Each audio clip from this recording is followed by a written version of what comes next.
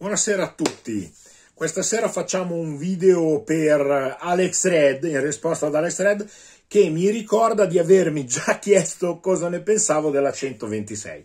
Allora, innanzitutto voglio farvi vedere il nuovo quadretto. Abbiamo tolto momentaneamente la escort di Vatanen che è finita dall'altra parte del, così, del locale e per movimentare un po' lo sfondo, se no sarebbe sempre uguale, ho messo questo, questa bella lavagnetta che possiedo da una ventina d'anni, lavagnetta io le chiamo così di legno, tridimensionale, di quelli tipo, tipo Irish Pub, dipinta a mano, e è molto, è molto carina secondo me perché c'è la Porsche di James Dean, qua quella su cui eh, purtroppo trovò la morte, Little Bastard, la 550, e qua c'è lo stesso lo stesso James Dean in piedi appoggiato alla pompa e poi sullo sfondo c'è un dinner dove ci sono Humphrey Bogart, Clark Gable e qua Marilyn Monroe, quella nella scena della, dell'aria dalle, dalle, griglie che gli alza la gonna. Per cui un bel coacervo di miti ricon, eh, tutti ricongiunti nel, nella stessa scenetta. Va bene, parliamo di Alex Red adesso che mi aspetta veramente da quasi un mese, credo, per questo video sulla, sulla 126. Allora, per parlare della 126 bisogna fare una digressione, insomma, un passo indietro. E la 126 si eh, innesta su un fenomeno eh, che mh, dal 1965 più o meno in avanti coinvolge tutte le grandi aziende che erano state protagoniste della, del fenomeno della motorizzazione di massa. Eh, possiamo ricordare ad esempio fra le tante, prima fra tutte la Volkswagen col maggiolino, poi la Citroen con la due cavalli, la um, gruppo BMC con la, con la Mini Minor, ehm, la, la Fiat stessa e comunque sia un po' tutti gli altri, la Renault, eh, vabbè, insomma, tutti quelli che hanno motorizzato paesi interi.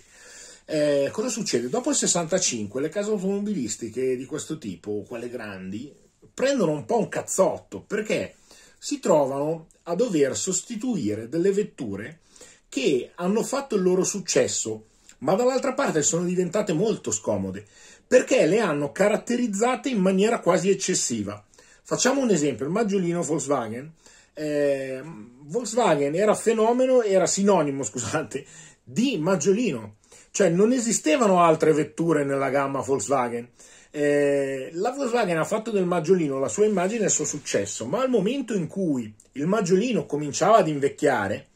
parliamo già del 1964-65, era già una macchina che subiva i colpi del tempo e della concorrenza, la Volkswagen si trova molto in difficoltà perché è percepita dal suo pubblico come il maggiolino stesso ma in realtà non ha delle grandi alternative da proporre. Ci mette quasi dieci anni a dover uscire da questa crisi di identità a, crisi, a, questa crisi di marchio. Se non ci fosse stata la Golf, la Volkswagen probabilmente sarebbe finita sull'orlo del fallimento, passando per le varie tipo 3500, eh, K70 e vari obrobri di varia natura e vario titolo che la portarono sulla strada della modernità molto molto in ritardo. Eh, la stessa cosa successe alla, mm, alla, Citroën che poi inventò la Diane ma fu un mezzo insuccesso, non piacque. La, mm, la Renault dalla 4 fece la 6 pensando di salvarsi in questa maniera, tendendo le linee, eh, aggiungendo un po, di, un po' di finitura, ma in realtà la macchina fu un mezzo flop anche lì. Per quanto riguarda la, mm, la Mini, forse abbiamo la peggiore esperienza di tutte, perché si andò ad appiccicare il muso denominato Clubman sulla, mm, su, sulla, sulla, vettura di origine, per cui aveva un corpo vettura tondo e un muso completamente squadrato, innestato veramente col martello stilisticamente in un'operazione molto molto infelice da mani nei capelli.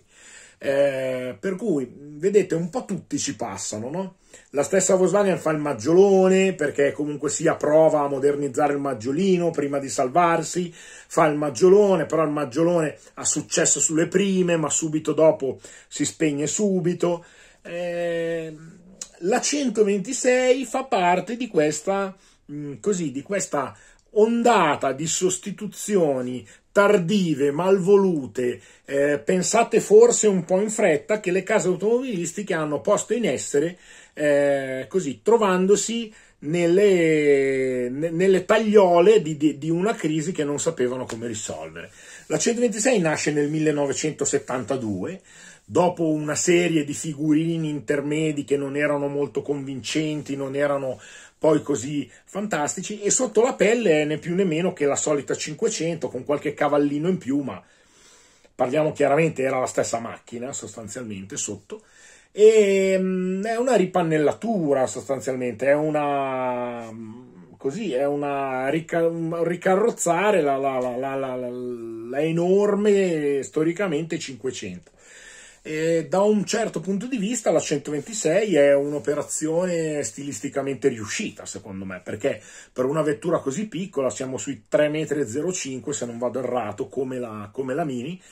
La 126 è mm, esteticamente per i suoi anni assolutamente un, un risultato piacevole, con, eh, con, un muso molto, molto personale, con questi eh, fanali che anticipano un po' quelli della, della 127, no, scusate, non anticipano, seguono, ma comunque ricordano, quello volevo dire, ricordano un po' quelli della 127, questi angoli stondati posteriori con i fanali verticali, non c'è niente di male nel disegno della 126, anzi è carina e per certi versi ha anche una certa grinta in più della 500, anche se magari perde un pochino di simpatia. Eh, le prime versioni sono molto eh, rese grintose dai cerchioni molto larghi e ben, benissimo riusciti, quelli che poi in versione un po' più stretta andarono anche sulla 500R e eh, insomma la 126 raccoglie, raccoglie, un discreto successo come city car, porta benissimo avanti il discorso della, della 500, probabilmente c'è un errore di fondo nel tenerla in produzione troppo tempo fino a che poi alla fine negli anni 90 la macchina è quasi secondo me ridicola nella produzione nazionale. Eh, mio cugino ebbe in regalo una, una 126 per la patente e fu veramente quasi umiliato, secondo lui, da questa, da questa scelta. Perché? Perché la macchina era ancora valida, poi le ultime, le bis e le, le FSM erano delle macchine che funzionavano benissimo, però il problema era che non, non, erano più assolutamente al passo coi tempi, per la sicurezza, per gli, per gli spazi e soprattutto per un'immagine che era tardiva ormai da proporre. Perciò mm, direi che la, la, Fiat doveva tagliare col prodotto 126 almeno 10 anni prima. Circoscritto negli anni 70, secondo me la 126 è un prodotto assolutamente onesto, simpatico e che funziona. Questa è la mia, è la mia opinione di, di massima sulla, sulla, 126, Alex. Eh, anche se devo essere onesto, il mio cuore batte per la 500, io sono un appassionato di 500, anche la 126 comunque sia una è una macchina assolutamente onesta, dignitosa e mh, mm, è giusto che abbia la sua schiera di appassionati. Vi saluto, ci vediamo al prossimo video, ciao Alex, ciao alla tua 126, buona serata.